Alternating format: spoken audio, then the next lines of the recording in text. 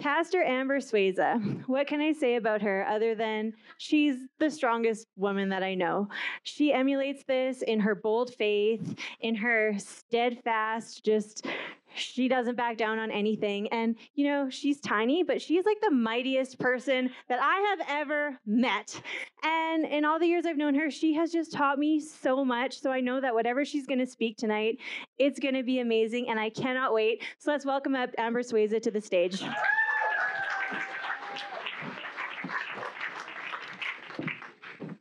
Hi, guys. I'm pumped to be here tonight. Here's my assistant, Kim. Thank you. You know, I've been thinking for the last month, like, what could I possibly say to a big group of women? And I was just really racking my brain, but I'm super excited for what I have to say tonight. It's something that I have never taught before, never written a message about, but it's something that I think is practical for everybody. And I hope that it's helpful for everybody. And something you should know about me I never give a speech or talk about anything to a group of people if it didn't impact impact and transform my life in some way because I believe it needs to be real. It needs to be practical and helpful. Something else you should know about me is I turn 40 this year. Yeah. Thank you. Yeah, because because I remember being in my teens in my 20s and thinking like 40 is so old. And now that I'm here, I'm like, no, 40 is just getting started. Like I'm just life is just going. Let's get it going. Yeah, I'm pumped. Um, I have a friend who's 20 years older than me, and she actually counts down her years. So she counts down her years by counting down how many Christmases that she thinks she has left. I know it's really dark. So she'll call me up around Christmas and she's like, only 15 or 20 Christmases left, Amber. And I like to mess with her a little bit. And I'm like, you don't know that. This could be your very last Christmas. Like, you don't know. I like to measure my years and experiences and accomplishments. So I set some goals for myself for before I turn 40. I think a lot of us do that before I turn 30. I want to do this before I turn 40. So I have a list of goals. Do you want to hear them? Okay, so number one, I want to fly in a hot air balloon. I know. And this one is actually helping me conquer a fear. I actually am afraid of um, heights. And uh, I, you might not know that because I post lots of mountain pictures and summits and stuff like that. But believe me, if you see me on a mountain summit or you see me ziplining, my legs are like shaking the entire time. I'm freaking out in my head. My husband, like when we go down the mountain, I'm hanging onto the backpack of my husband the entire time. Like it, it really does get in my head, but it's me conquering that fear. I've put my husband in charge of planning this balloon um, expedition so that that I don't overthink it. But this goal really is set to help me overcome a fear. So, number two is to get back to my wedding weight. I've been married for 19 years almost, and uh, to be honest, I've been working on this all year, but I'm excited to tell you that I'm like a few pounds away from this goal. I know, I feel really accomplished right now. Believe me, when I hit this goal, I'm gonna put my wedding dress on, I'm gonna walk around downtown, my husband's gonna take a camera, and then when people come up to me and they're like, Congratulations, I'm gonna say, Thank you. It took me so long. I never thought this would happen. That's what I'm gonna say. It's gonna be really great. And then Number three, I want to be able to do the splits again. Yeah. And uh, I used to dance as a teenager. I used to teach dance as an adult. And this is just something I think would be really great to head into my 40s and be like, yeah, I can do the splits. But uh, if I'm really honest, this is not something that I have been diligent at working towards. I know what I need to do stretch. Every single day, I need to stretch. I need to be self motivated and dedicated to do it. But if I'm honest, this is a goal that I have not put in the very front of my heart and mind. And then number four is to walk with integrity and surround myself with people of integrity. So, yeah, it's a good one. And this is an ongoing goal that I've been working on for many years. This isn't just a new thing for this year. And I'm not going to throw it out the window when I hit 40. But um, integrity isn't something that happens overnight. nor is it something that you can obtain. Kind of like love isn't an emotion, love is something that you choose to do. And integrity isn't something that you just obtain, it's something that you choose to work on. So when I say that word integrity, I don't mean like not lying, not cheating, not stealing. Those are all great things to avoid. But those are all things um, the, that we shouldn't have in our life, of course. And I think we all acknowledge that, but it goes much deeper than that. And I wanted to share some things with you tonight that I've worked on and I continue to work on for myself and characteristics of people that I like to surround myself with. Because how many of you guys know that the people we surround ourselves with, we become more like? Are you with me? So perhaps in your mind, integrity is being the same person in private that you are in public. Have you heard that before? Well, I want to take that a few steps um, further. Maybe write this down if you're taking notes. And I want to say that integrity is walking with intention and wisdom in what we say and do. Ultimately, I added integrity to my, integrity to my list of goals because I'm very aware of what I want to be known for, but also I'm very aware of what I don't want to be known for. And there are a few things that I've learned along the way. And tonight I'm going to be sharing a few tips from the book of Proverbs. So, the book of Proverbs is known as the book of wisdom.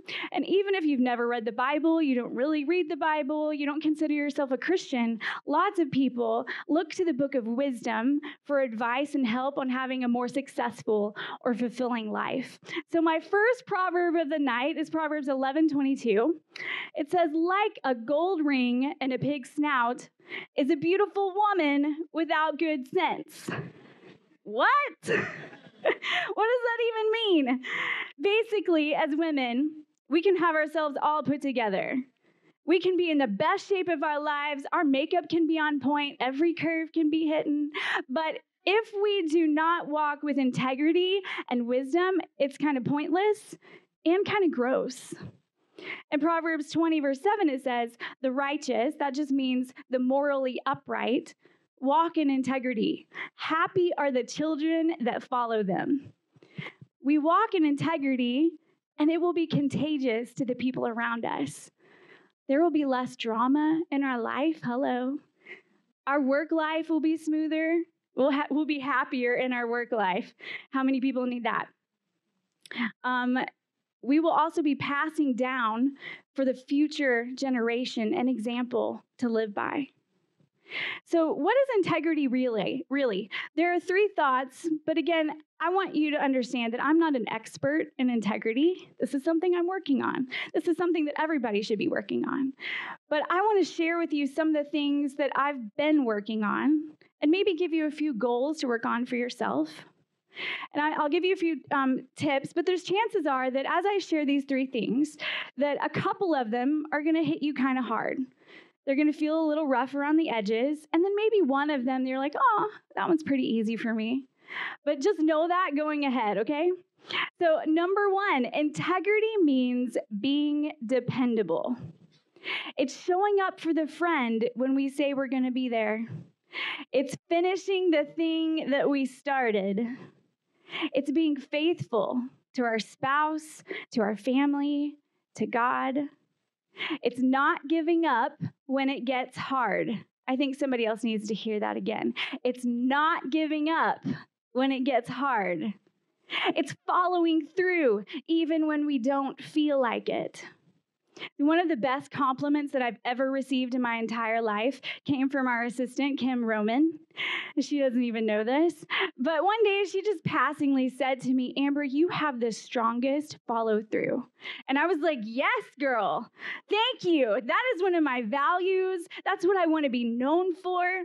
So maybe dependability is one of my strong ones. Maybe this one's easy for me, but maybe you have a hard time being dependable. Following through and being dependable doesn't have to be complicated. So don't overthink it. The Bible says in Matthew, let your yes be yes and your no be no. Be there for the things that you say yes to. And don't say yes if you can't be there. Learn how to use the word no. I think some people pleasers in the room need to hear that one again. Learn how to use the word no. And I want us to just all rally around each other just in case there are some people pleasers in the room. And let's just use that word in our vocabulary. Just say it with me no. One more time, just for good measure. No. no. Don't be afraid to say it. Don't be afraid that it's really going to mess up that person's feelings because, in fact, if you follow through with what you say yes to, and then when you say no, there's room, there's breathing room, right? Um, but but don't just say yes and then not show up. That's really hard when uh, when we're hiring at Connect, dependability is the number one thing that we look for. There are, in fact, people who have sent in resumes and they've had great qualifications, but there's other people who don't have as good of qualifications, but they get the job because we've seen them be dependable time and time again. Dependability matters, it matters everywhere you are, especially your workplace. Live by example on what it looks like to be dependable and work at it. And remember, it's an ongoing goal, not something you complete. Being dependable helps build character and integrity. Number two, integrity means speaking with honor. Have you ever walked up to a group of people and they say, Hey, we were just talking about you? And then you kind of clench, you're like, oh, what are they saying about me? I've actually tried to change this a little bit um, in my head. I, I don't want to say, hey, we were just talking about you. Instead, I say, hey, I was just bragging about you. Because that changes things, right? That breaks down the wall. That proves that I haven't broken trust between us and this big group of people. And it actually builds up and honors somebody else. Women have enough self doubt, and we are telling ourselves enough negative things in our own head that we don't need to hear that said from somebody else around us, right? So I'm just going to throw this out there. Gossiping is the biggest enemy of integrity. Here's something you need to understand about gossiping if they're going to do it with you, they're going to do it about you when you're not there. See, people use gossiping as a way to bond with other people. And if people are saying negative things, they're using gossip to build a bond with you. But hear me now. When you walk away and you're not there, they're going to trash you in order to build a bond with other people. And so when we really get this as a truth, because it is true, the people who gossip with you will gossip about you. When we understand that, and then we when we make that real in our own heart and we make it a rule for us that I'm not going to gossip about somebody else, then that makes room, right? And that that helps us to surround ourselves with other people who won't gossip about us. There are entire friendships and even marriages built around this type of bonding. And the moment that that person comes home and, uh, and doesn't have a juicy tidbit, there's something that's missing there in their bond. And all of a sudden, the relationship feels disconnected or a little off in that bond because the bond has been talking about all about talking about other people. And so that bond with that relationship feels off. And it's because that bond has been built around something that's unhealthy. Ultimately, what we're looking for when we gossip is affirmation. Moments of gossip usually come about when we're shocked or disagree about something. We immediately try to find someone around us to say, Yeah, that's crazy. But sometimes what we don't realize is we are manipulating and changing that person's who we are gossiping to's first impression or opinion about somebody else. So, like if I met somebody here tonight and you told me something that I didn't necessarily agree with, or maybe I found it shocking, then I went home and I told my husband, and then I went to our staff meeting and I told our entire staff, that's actually unfair to you because I'm sharing something about you and giving an unfair opinion to somebody you've, excuse me, never met before. So that's really an unhealthy bond that I'm trying to make there. Proverbs has a lot to say about this. In chapter 20, verse 19, it says, A gossip reveals secrets. Therefore, do not associate with a babbler. That's what the book of wisdom says. Just straight up, don't hang out with them. That's the advice. In Proverbs 25, 9 and 10, it says, Argue your case with your neighbor directly, and do not disclose another's secrets, or else someone who hears you will bring shame upon you, and your ill repute will have no end. Well, that one's hard. You know, the easiest way to cut out gossiping is to make it a rule. If you wouldn't say it in front of them, then don't say it about them. If they aren't there to speak into anything that's being said about them, then it doesn't need to be said. And if we're questioning something that they did or said, don't look for affirmation from your neighbor that you're right. Go and follow up with them and say, hey, can we get on the same page about this? I'm looking for a little bit more clarity. There's no need to take it outside of the bubble, right? This one is hard. As women, we try and find that validation we feel like we need. And we do bond over the shock factor. I mean, that's why reality TV exists.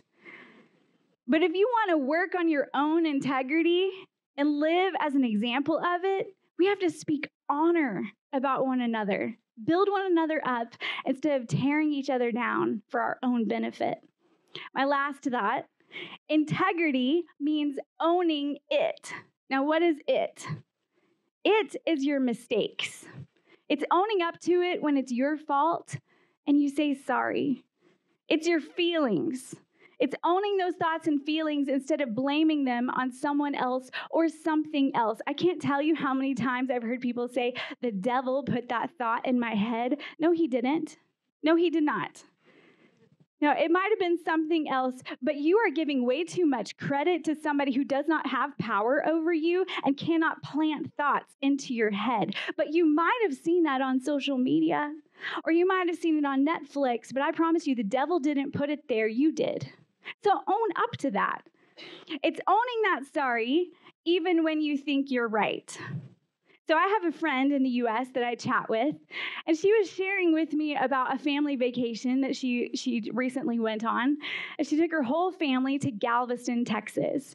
Now, if you were here a few weeks ago, you heard my husband say from stage that going to Galveston, Texas is kind of like going to Medicine Hat for vacation. Like it's nothing special. it's nothing special, but there is a really brown water beach, and we know this because we spent our honeymoon there. So I'm speaking from from experience.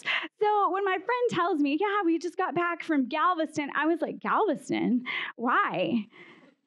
I mean, that water is kind of gross. Why didn't Why didn't you go to like Florida or Alabama? And um, you know, it was the same driving distance for her, so I didn't really think it mattered. But to my surprise, she took offense to this, and she took offense because she thought that I called her family vacation gross. So, okay, you guys, like I'm still under the opinion that Galveston Beach is not the place that I would take my family on vacation. But I am not so prideful to dig my heels in and make my point instead of seeing that I offended my friend and saying I'm sorry. So own up to it. In Proverbs 16, 18, it says, Pride goes before destruction, and a haughty spirit before a fall. In Proverbs 27 17, it says, As iron sharpens iron, so one person sharpens another. Meaning that feedback is important and it makes us better. So if you're a person that when a boss or a coworker comes up to you with feedback or maybe a little correction, and then you bristle and you're constantly looking for the out, you're looking for the blame. If you're always saying something like, that's not what you taught me, or that's not what that person told me, or I saw them do it differently, then you're not owning up to it, right? Even if you are right, there's correction happening there. And, and so there's a process that's really helpful when you get into these situations and you're not quite sure how to handle them. So maybe you want to write this down. There's four things that you need to say so that you can own it. It's I'm sorry, please forgive me, thank you, and I love you. If it's your boss, maybe I'm grateful. Don't make it weird. so I applied this to my friend. And I said, I'm sorry. I didn't mean to offend you or make fun of your vacation. Please forgive me for it. Thank you for sharing your truth with me on how it made you feel. I love you and I would never want to hurt you. Own it. Some of these things that I've pointed out tonight might hit kind of hard And I reminded you of that in the beginning. Just remember that I've said all along that integrity isn't something that you possess, it's something that you work towards. So, just like if I want to be able to do the splits again someday, I need to stretch. And if we want to become better, more dependable, trustworthy people, we have to work at it and stretch our integrity muscles. It doesn't just happen overnight, but it does happen by choice and walking with intention and wisdom. And if you're someone who sees this list and you say, I am so far from the mark, I'm not walking in integrity at all, I want you to stop for a minute and give yourself a little bit of grace because nobody in this room has it down.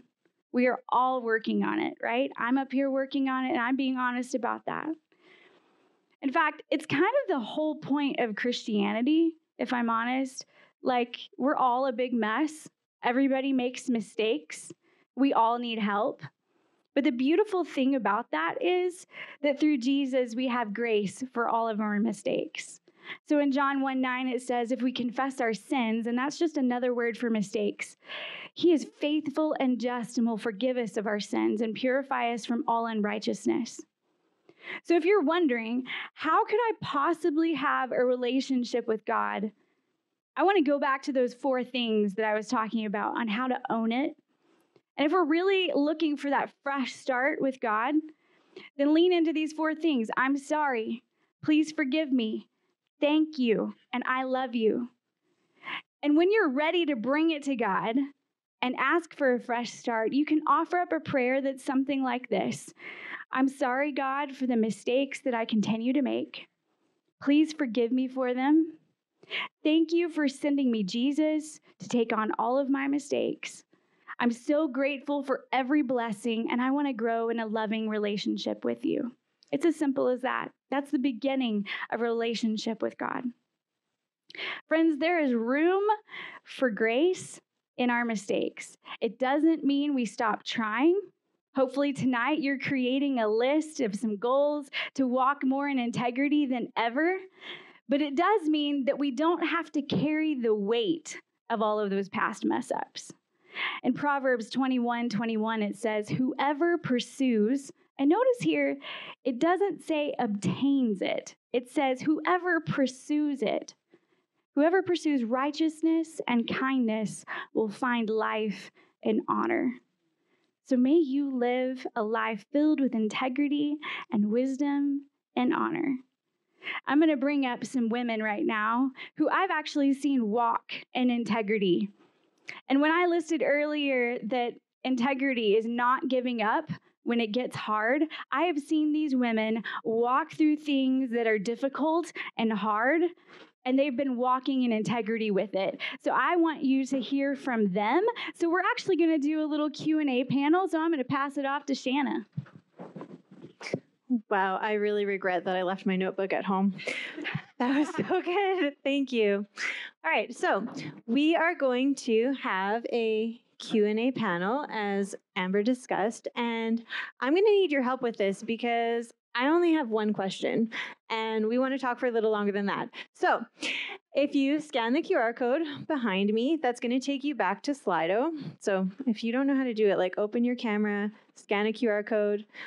Not everybody no, so that's how you do it. And when we were doing the original questions, we were in the poll um, section of it. If you click on the Q and A tab, what that what that will do is open up the question and answer portion of the night. So you can submit questions anonymously um, for any of our speakers who are coming up stage. I don't know where they are. Yeah. Okay, we got Erin.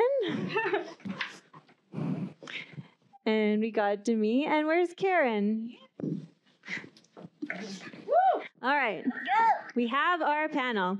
And so if you have questions relating to the theme of the night, which is integrity, wisdom, honor, those are the type of things that we want to be asking these ladies, all right? So I'm going to get started and we'll start with the lovely lady on my right. So, what is your name and something about you that others might relate to? Well, my name is Amber, if you didn't catch that one earlier. um, something that you might be able to relate to. I know a lot about waiting. And that's because my husband and I have been walking through a 12 year process of infertility with everything that that goes with and all its emotions and highs and lows and jealousy and all that mess. So um, I understand what it's like to wait. And if that's something that you can relate to, I'm happy to answer and talk about it. All right, next. Uh, hi, I'm Erin. Um, something relatable about me. I guess I could also mirror what Amber just said. Um, my husband and I have also been walking through a season of infertility, but um, you can ask her the questions about that instead, so I don't have to cry on stage. um, and I, I, would say something else that I think um, that you might relate to um, is what you said earlier about owning it and owning your mistakes and and owning your thoughts, I think was something that really stood out to me, um, because as uh, a divorced woman who is now remarried, um, as my husband can also attest to, um, I didn't at first I was not very good at the whole owning my mistakes and owning my thoughts. Um, and I had a lot of thoughts and insecurities that came from um, my first marriage and why it ended. It ended due to infidelity. Um, and I took that out on my husband for a long time. I, I, um, I, made him pay for those mistakes. I didn't own those. Um, so that's something that we also continually walk through. That was another thing that you said that really I was like, oh, thank goodness, is that it's this isn't something we achieve. It's something that is a, a a process and you make progress every day. Because um, I thought, when you first asked me to do this, I thought, does she know? Does she know? in my head, I'm not good at this integrity thing all the time, but um, you get better every day. Yeah, so. that's right.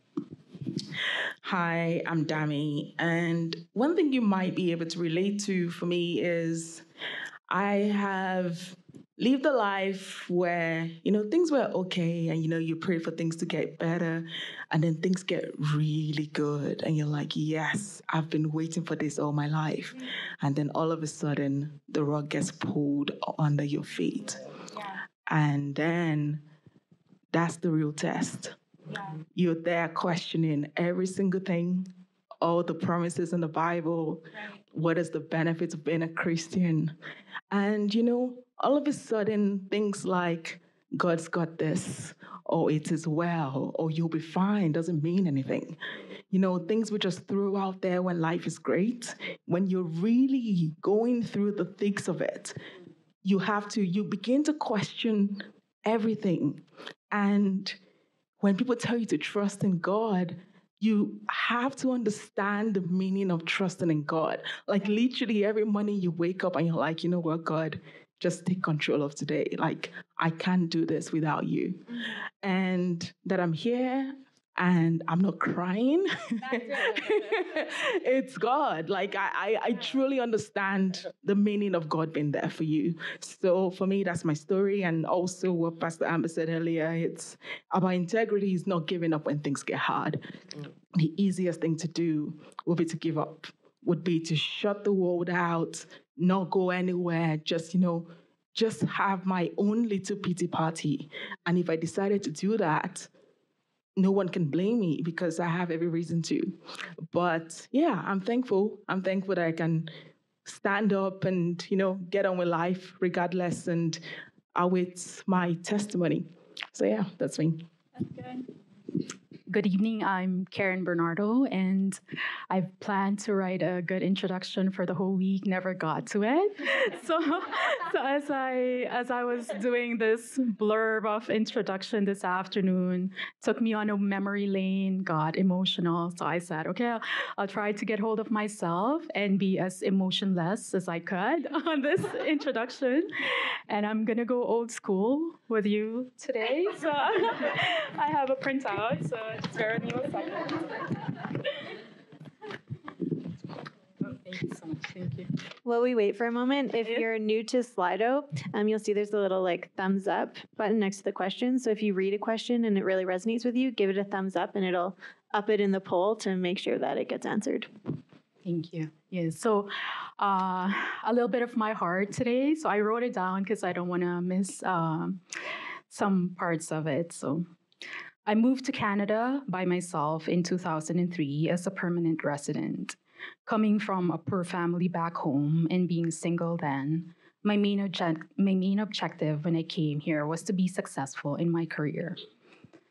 But God knows what we need long before we even realize it.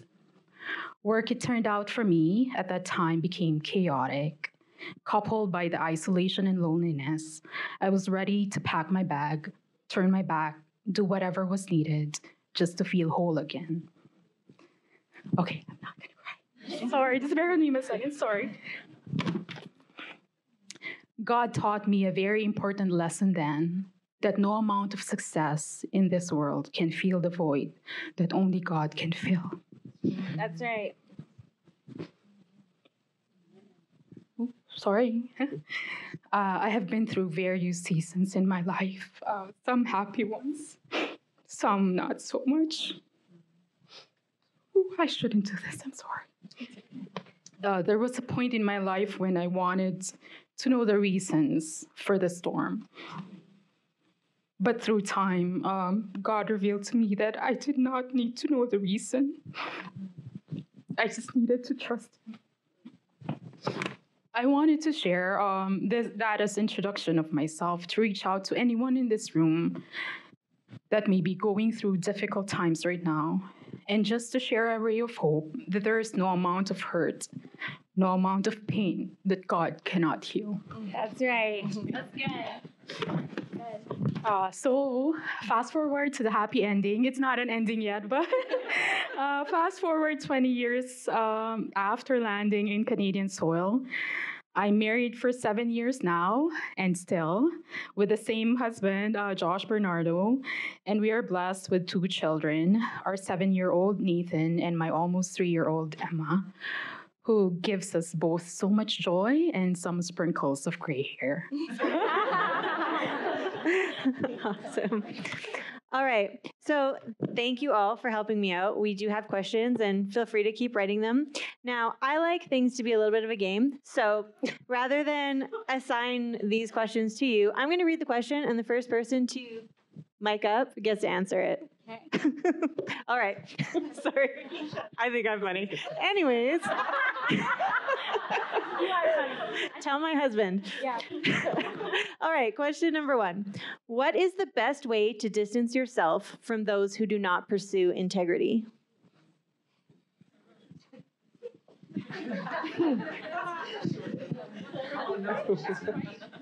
All right, go down. Okay. My answer might not be what you expect, but I wouldn't say to distance yourself from those who do not possess integrity. What I would say is, what would Jesus do? Like in these situations, um, I know that if, if you if you think you are in a vulnerable position and you're trying to build up yourself, then maybe in the short term, yes, find a way. I know I'm not telling you the answer, but find a way to keep yourself away from those people. But when you've built yourself up, what we should be doing as Christians, in my opinion, is to help those people build their own integrity as well. Um, if we keep distancing ourselves and walking away from people who are not like us, then I don't believe we're doing what we're called to do on earth. That's good. I just want to add to that. Like, um, if we distance ourselves completely, then we have no influence with them, right? So I think communication is a really good thing. And you can even say, hey, I'm working on not gossiping. And I just want you to know that. And I, I just want to be honest. I feel like our relationship is very bonded around that. And I'd like to see that change and maybe make them a part of that. Now, if there's other issues and bigger stuff, maybe don't hang out as often, but you still want to be a part of their life and an influence in their life. And hopefully, at some point, they start working on themselves too. But I think communication is a big part of that.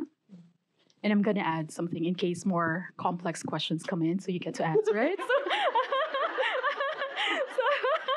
no, I, I, just recall uh, Pastor Dan saying uh, a couple of weeks ago that people are not the problem, they are the price. Yeah. So it's not, uh, to what you said, it's not distancing yourselves from them, but building a relationship with them and influencing them in the best way you could. What would Jesus do? I love it. Okay, next question. What would you, oh, hang on. Yeah. What do you do when you own a mistake and the other person doesn't forgive you?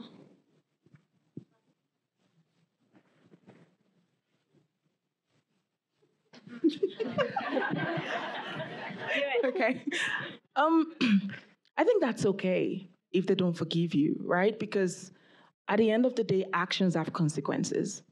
And if you've done something that's wrong, you've put your hand up. You're not putting your hand up because you want them to give you a um, get out of jail free card. You're putting your hand up because you're acknowledging that you've done something wrong you are sorry for it. And the only thing you can do for that person to let them know you're genuinely sorry for what you've done is to give them the space to heal from what you've done. If you've done something bad, you saying sorry doesn't immediately fix what you've done. You need to give them time to process it and decide if they still want you in their lives or not. Now, I appreciate that in some cases, it can hurt losing a friend from a mistake that you've made, but just try to accept that the right thing to do is to apologize and give them time. If you really want that person in your life, pray about it. And I don't mean this in a cliche way. Like, take everything back to God. And eventually, if they're supposed to be in your life, the friendship will be mended. Good.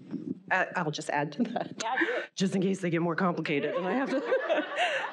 um, I, I, think also just keeping in mind that when you apologize and you own your mistake, that forgiveness shouldn't necessarily be your goal. Um, you know, righting your mistake should be your goal, but forgiveness is really um, more about the person who's giving the forgiveness. Um, you know, I don't know if anybody has ever heard the saying, like, not forgiving somebody is like trying to kill them by drinking poison yourself or something like that. When you forgive somebody for something they've done for done to you, the the impact is bigger in your own self um, versus for the other person. So if you're on the flip side of that, um, the forgiveness is totally in their control and it's more about what's going to um, make a change in their heart when they decide to forgive. So, apologizing, owning your mistake, doing better the next time, changing your behavior, like I said, or like you said, that you know there's consequences to actions, um, and walking through that without the goal being forgiveness, I think is also important. Awesome. All right, next question. How do you focus your mind back on God when everything seems to be falling apart? I think that is the most critical time that you need to focus on God. Because when everything falls around you, you only have one to go to. I think it also um, comes it comes into play when you have relationships that are also founded in God. So, like this is the importance of church, right? Like when everything else is falling around you, you need that support from your Christian brothers and sisters to help hold you up. You need that. And and that's why here at Connect we offer Connect groups. So there's community that you can grow and you can build friendships that are natural. And then we also have like a team that we do life together. And so it's easy to create relationships outside of Sunday morning. So you don't have to be the one that's always going out in the lobby, like meeting people. There's easier ways to build relationships. And when you have those relationships, then you don't feel so alone and in the dark when everything feels like it's falling apart. And I'll add to that because two succinct examples come to mind. I might not go into too much detail. Well, the first one I remember was um, when we were trying to have a baby, our, our first kid, we had a miscarriage. And I remember at that time, I was just like broken. Like, why would this happen? We prayed for this, you know, everything, you know. Just going back to those emotions, it was so bad. I remember walking into church on Sunday and I'm usually jumping and dancing and everything. And this day I was just like crying. And I eventually walked out of church. Mm. I never thought I would get to a place where I would ever do that. But thankfully, the only thing I can think of in terms of what brought me back, I only stayed out for one Sunday. But anyway, the only thing I can think of in terms of what brought me back was just like worship. And even with more recent um, situations in my life, like I'm driving home from the hospital and I'm literally like bawling and crying and screaming, but I am screaming in worship. Like I'm just playing the music in the car by myself and, you know, just singing through it. And I realized like after two weeks of, of doing that, when I, I didn't know what, what was going to be of me in that instance. But one thing I know happened for sure was after that, those two dreadful weeks, I found I was sleeping better. I found out I was literally trusting in God. Like every waking moment, I am a planner. I used to be someone that, you know what, I want to know what I'm doing next summer, where we going, book the tickets, you know, do all of that. But now I don't even have the strength to think beyond a day, right? And then you remember what the Bible says that His grace is sufficient for you for today. And, you know, things like if God cares about the lilies in, in the garden or whatever it says in the Bible, like. like what what more me what more me and you and, and those words just begin to mean a whole different thing entirely they just become more palpable like so if you're feeling down or you're strong, struggling to stay close to God, for me, it's worship. For some people, it's praying. For some, it's reading the Bible. Whatever is your favorite thing to do as a Christian, I would suggest that you just latch onto that as strongly as you can. Good. Okay, we're going to do one final question because this one was pretty high voted as well. So, how do you keep your integrity when a close family member keeps gossiping and you don't want to hurt that relationship?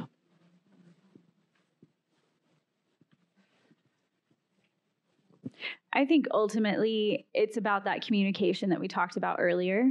So um, if they keep gossiping, there's nothing wrong with having that conversation. Now, it's really hard to have that conversation. I get that.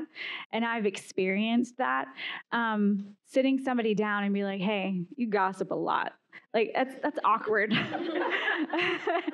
but there's a gentle way to do that. I would say go in with prayer before you have that conversation first, and then um, just be honest because that's truly the only thing that we can do. We can pray for them and we can be honest with them. And then um, if it just continues to happen, like don't don't be mean about it, but you you do have to distance a little bit there, right? You do have to find a way that that doesn't intrude in your life and in your growth.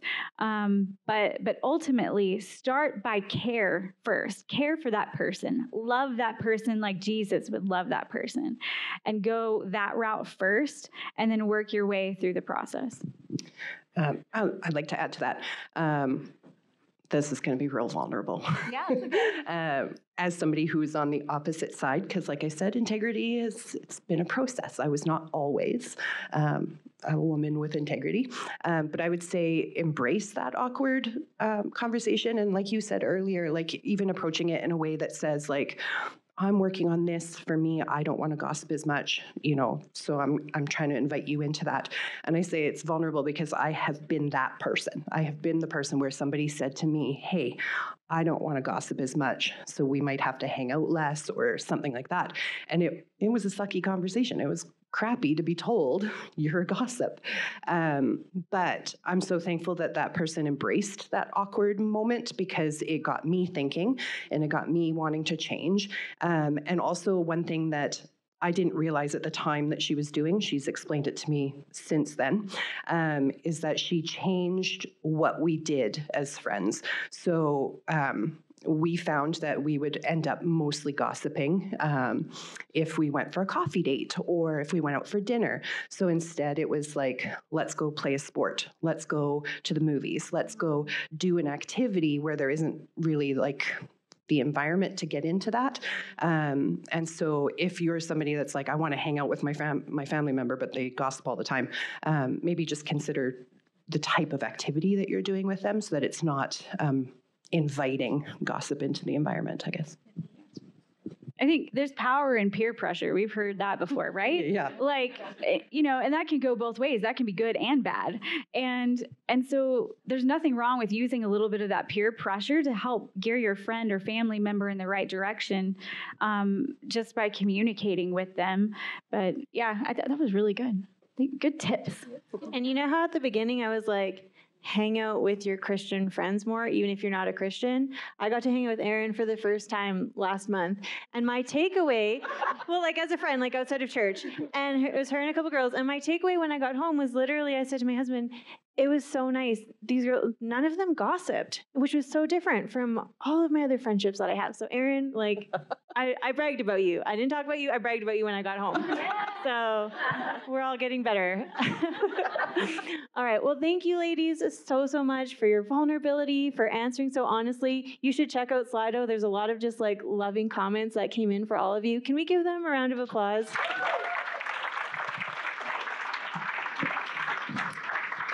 All right. Well, that's it for this portion of the evening. Um, but we are not kicking you out. um, we still have lots of chocolate. We have lots of coffee. Uh, the merch store is going to be open until 8:30. If you haven't made a bracelet yet, you should definitely do that. And you know, like I really hope that you had a lot of fun tonight, that you're going to continue to have fun. And I want to let you know that we have just as much fun on Sunday mornings.